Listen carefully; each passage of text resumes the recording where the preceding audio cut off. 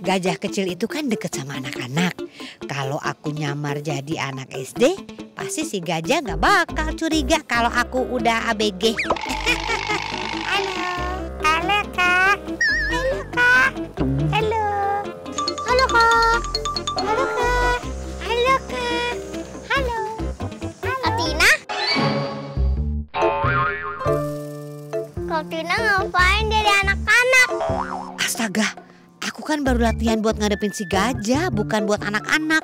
Aduh, Katina mau nyamar ya? enggak. Siapa bilang mau nyamar? Aku itu buat jaga-jaga kalau nanti siapa tahu ada tamu anak-anak. Emang harus jadi anak-anak, Kak? Iya, enggak juga sih. Eh, ngomong ada tamu yang kamu sembunyiin nggak dari aku atau orang-orang? Kok Katina ngomongnya gitu? Apa jangan-jangan Katina udah tahu Bubu di sini? Iya. Enggak, eh, enggak, enggak ada, Kak. Enggak ada siapa-siapa kok. Aku pergi dulu ya. Biarpun kamu sembunyiin, pasti aku akan nemuin gajah kecil itu. Bubu aku harus pulang. Takutnya macan kumbang bikin perkara lagi. Gara-gara aku udah gagalin karena dia memakan kambing. Aku ikut Rimba, aku mau lindungi kamu. Gak usah, Bubu. Kamu di sini aja. Lebih aman kok. Kamu jangan khawatirin aku ya. Aku tinggal, Bubu.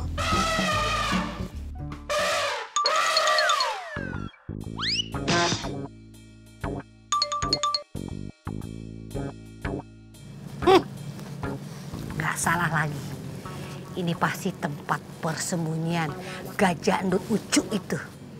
Jangan coba-coba yang mau mengelabui Miss Julit.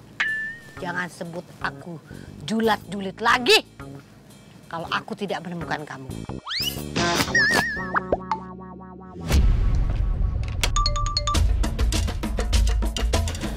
Kayaknya di sini dari bau-baunya.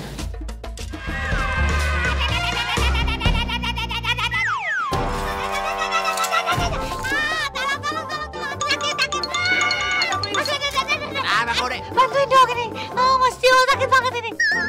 Aduh, kau ini deh. Makin lama bikin abang makin gemes aja lihat kau. Apa sih? Ini, ini, Dandan kayak begitu. Aduh, Mas Tio, tolong dong. Bantuin. Aduh, Mbak. Aduh, iya, abang bantuin, abang bantuin. Eh, gak mau, gak mau, gak mau. Mas Tio aja, Mas Tio, Mas Tio, Ya tolong. udah sama aja. Bantuin, bantuin, bantuin. Kau ini sama aja lah. Tio aja, Mas Tio. Mas Tio gak ada hati banget sih. Bantuin aku dong, Mas Tio. Aduh, sakit banget nih. Ah, Mas Tio, tolong banget.